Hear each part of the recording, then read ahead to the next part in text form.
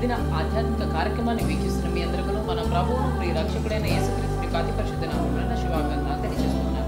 మీరందరూ బాగున్నారు కదా? అనుదినము విసుగు చెందగా ఎడతెగక దేవునితో ఆధ్యాత్మికమైన సత్సంబంధాన్ని మీరు కలిగి ఉన్నారని నమ్ముతూ ఉన్నాను. అటు కృపను దేవాది దేవుడు మనందరికీ ఇచ్చిన కాక ఆమె మంచిది. ఈనాటి అంశం ఏమనగా తొంభై రెండవ కీర్తన ఐదవ అధ్యాయంలో దేవుని యొక్క వాక్యం ఇలా కనిపిస్తూ ఉన్నది యెహోవా నీ కార్యములు ఎంత దొడ్డవి నీ ఆలోచనలు అతి గంభీరములు దేవుని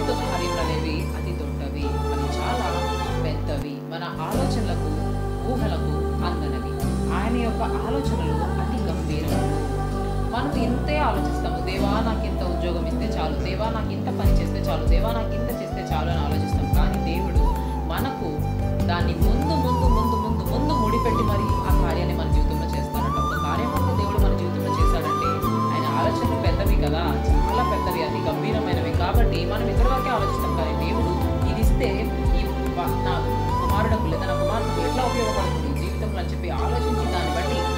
ముడులు వేసి దేవుడిస్తాడంట. తద్వారా మన జీవితం అనేది దైనందిన జీవితాలలో ధన్యతతో కూడిన అతి ధన్యతతో కూడిన మన జీవితం అనేది ధన్యకరంగా మారుతుంది.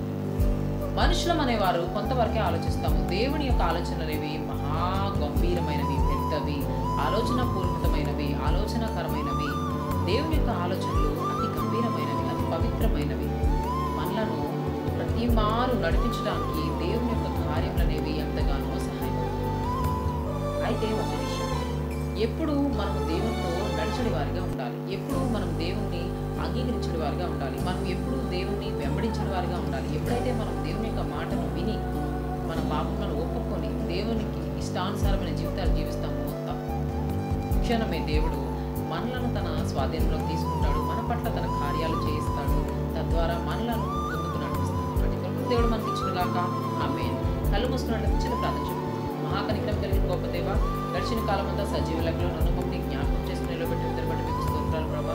అల్పము అభాగ్యము మట్టి ప్రభులను మమ్మల్ని జ్ఞాపకం చేసుకుని ఉన్నతమైన నామంలో నిలబెట్టి ఇద్దరు బట్టి మీకు స్తోత్రాలు తండ్రి మీకు లోబడే జీవితాలను నాకు మాకు అనుగ్రహించండి. నేను వాక్యం వృధాగా పోనేగా హృదయం నడి మీద రాసుకొని మా జీవితాలు సరిదిద్దుకునే భాగ్యాన్ని నాకు మాకు అనుగ్రహించండి. తొంభై రెండు గీతల ద్వారా నాతో మాతో మాట్లాడిన బట్టి మీకు స్తోత్రాలు. మీ చిత్తానుసారమైన జీవితాలు నాకు మాకు అనుగ్రహిస్తాను నమ్మచ్చు ఈ ప్రకారం జరిగినట్టు. ఏ సతి పరిశుద్ధ నామమైన అతి మిగిలిన వినియమతో బ్రతిమలాడి అడిగి పెట్టుకుంటున్నాము తండ్రి for watching this program, Stay connected, stay blessed, stay safe. Bye bye.